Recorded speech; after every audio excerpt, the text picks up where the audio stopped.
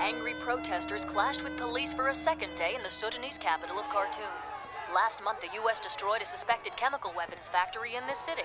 Fearing similar reprisals by the U.S., many Sudanese have turned against their government, which is known for its support of terrorist activities. Seven weeks ago, the Sudanese president was assassinated. No one's claimed responsibility, but ever since then, two parties have been fighting for control. In the south, General Hayat Zulake, leader of the Sudanese Freedom Party. Old school, hardcore.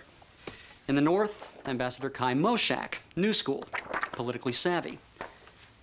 General Zulake is all muscle, Ambassador Moshak is all brains, Sounds like they should get together. Probably will at 10 paces.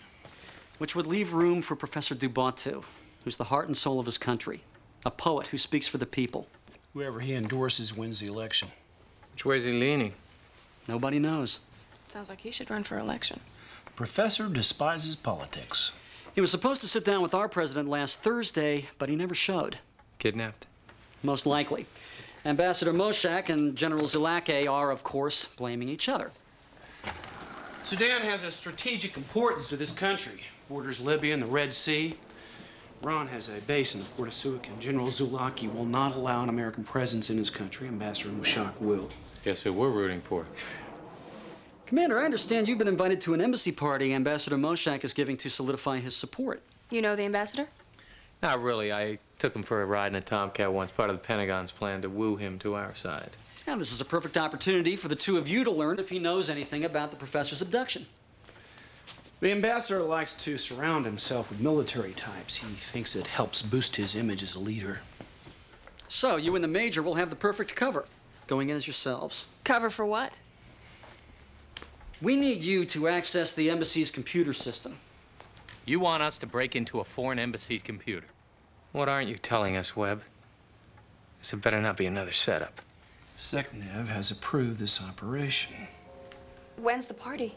1900 tonight. Tonight. My dress uniform's at the cleaner, sir. I don't have a dress. I, I haven't done my hair. Hair's fine, Major, and Webb's taking care of the dress. You don't even know my size. 36, 24, 36, 5 foot 8, plus 130 pounds. 120.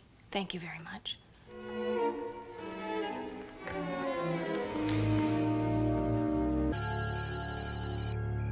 The reception will be held in the ballroom. Moshak's office is on the second floor, here. There's a fire escape door here, but it has an alarm on it.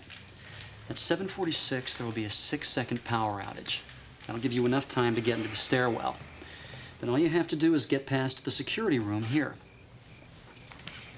Is that all?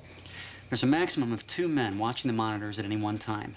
If you can get them out of the room, you're home free. Now, how am I supposed to do that, Webb?